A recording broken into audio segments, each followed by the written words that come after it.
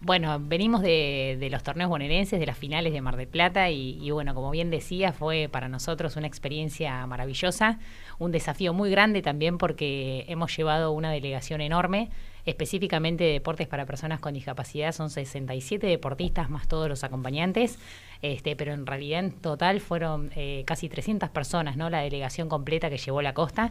Así que bueno, nada, demandó por supuesto mucho trabajo, mucho detrás de escena que, bueno, que mucha gente este, puso a disposición, ¿no? Eh, tanto de la MUNI como, como bueno, de los profes y demás para que todo salga de la mejor manera. Y bueno, por supuesto que los resultados eh, están a la vista, ¿no? Con, con el medallero.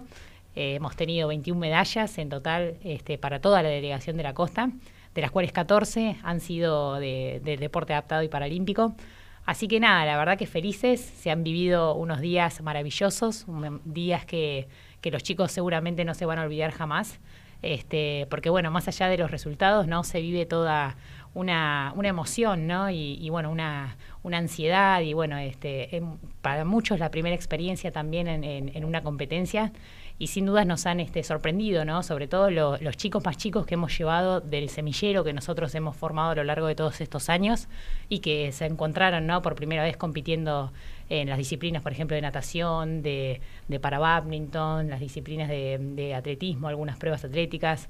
Y bueno, todos ellos han logrado medallas, ¿no? Este, que, bueno, que tal vez el objetivo era otro, ¿no? De la competencia era empezar a formarnos, ¿no? En lo que es el, el ámbito competitivo y bueno, nos han sorprendido gratamente y, para nosotros es eh, sumamente, sentimos un orgullo enorme porque quiere decir que todo el trabajo que se ha hecho desde la Dirección de Deporte Adaptado eh, hoy por hoy eh, da sus frutos. Bueno, te traigo la novedad, Carlos, y bueno, toda la audiencia de que hemos tenido la posibilidad de clasificar a dos atletas, dos deportistas para los Juegos Nacionales Evita.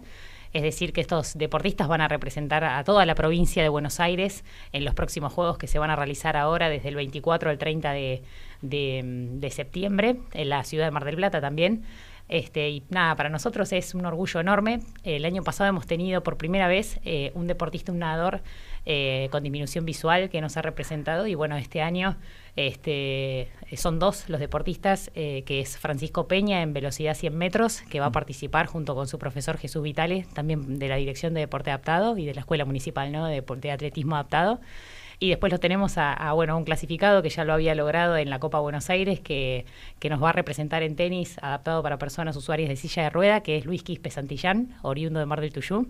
Este, que bueno, que obtuvo su pase a partir de, bueno, de, pasar la instancia ¿no? de Copa Buenos Aires acá justamente en la localidad de San Bernardo. Así que nada, vamos a tener esos dos representantes que, que nos van a, van a, son oriundos de la costa y van a representar a, a toda la provincia ¿no? en los próximos Juegos Evita y sinceramente para nosotros es algo soñado porque obviamente que alcanzar el torneo de Vita representa no competir y, con todos los deportistas que, que, quieren ¿no? ese pase de la provincia y, hoy por hoy que sean del partido de la costa y que bueno en mi caso también me toque coordinar todo el tenis adaptado de, la provincia de Buenos Aires es, es maravilloso porque quiere decir que, que la costa sin duda ha dado ¿no? un, un, salto de calidad en lo que tiene que ver ¿no? con el deporte adaptado y paralímpico de la región. Somos Radio Noticias